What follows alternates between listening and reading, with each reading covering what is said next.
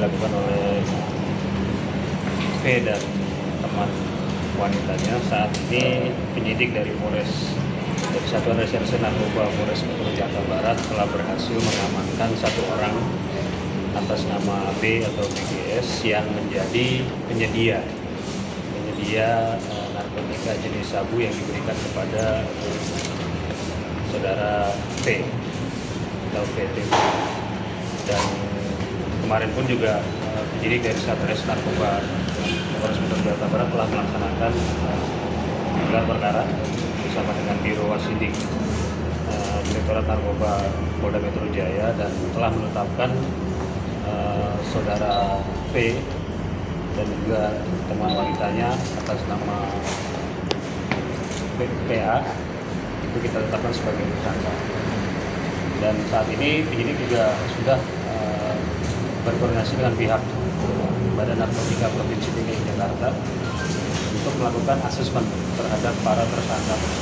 Ada eh, tiga orang yang kita tetapkan sebagai tersangka yaitu eh, V dan juga eh, PA atau teman wanitanya dan juga B atau BGS yang menjadi penyedia eh, narkotika yang diberikan kepada eh, saudara. Dan kami juga sudah berkoordinasi dengan tim asesmen terpadu dari BNP DKI Jakarta dan hari ini kegiatan asesmen akan dilaksanakan terhadap eh, tiga tersangka tersebut. Untuk status uh, si PA sendiri ini apa Pak? Teman kah atau pasangan atau Ya, tadi saya sampaikan teman wanitanya. Pak Pak untuk penangkapan dari masuknya itu ada barang bukti narkotika juga apa yang disita atau ditangkap di mana Pak? Uh, terhadap saudara B ini atau BGS ini uh, memang tidak ditemukan barang bukti narkotika, namun dia mengakui, dia mengakui bahwa dialah yang uh, memberikan narkotika tersebut kepada V dan memang ada uh, catatan transaksi keuangan juga dan pada saat kita melakukan penggeledahan terhadap B ini juga ditemukan beberapa untung bekas uh, penggunaan narkotika sintetis atau tembakau gorilla yang memang si B ini juga mengakui bahwa dia memang pecandu aktif eh, narkotika jenis sintetis Di mana di rumahnya. tersangka B atau? Daerah mana Pak? Eh, tersangka B ini eh, rekan kerjanya V sebenarnya.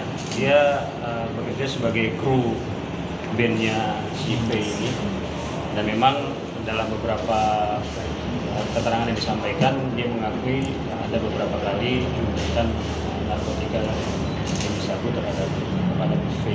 Berat barang buktinya? Berat barang buktinya mungkin si P. Ah, masih dalam pendalaman penyidik eh, nanti pada saat rilis akan kita sampaikan. Pak berarti Irgun itu eh, perannya hanya pengawasan. Sejauh ini eh, dari hasil pendalaman penyidik yang bersangkutan eh, masih kita nyatakan sebagai pengguna. Tapi Ditetapkan udah- sebagai tersangka per kapan Pak?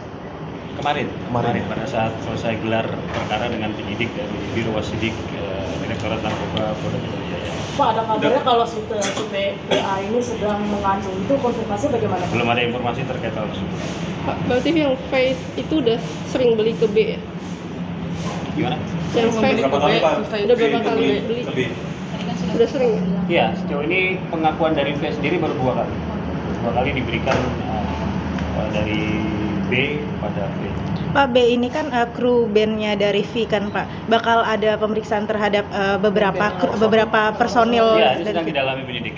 Sedang didalami oleh penyidik dan kemarin kan dari hasil pengembangan baru yang diketahui ataupun didapat eh, keterangan bahwa dari B itulah eh, narkotika tersebut didapat eh, oleh V.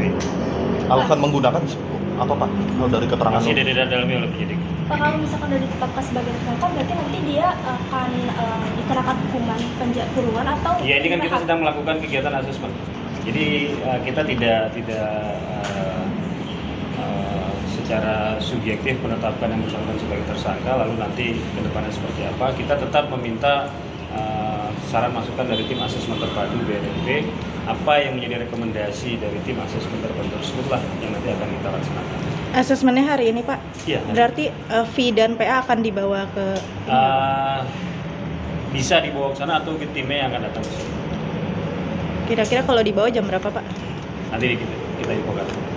Masih banyak Pak Kapolres. Cukup ya? Terima kasih Pak. Pak rilisnya kapan Pak? Secepatnya. すいません。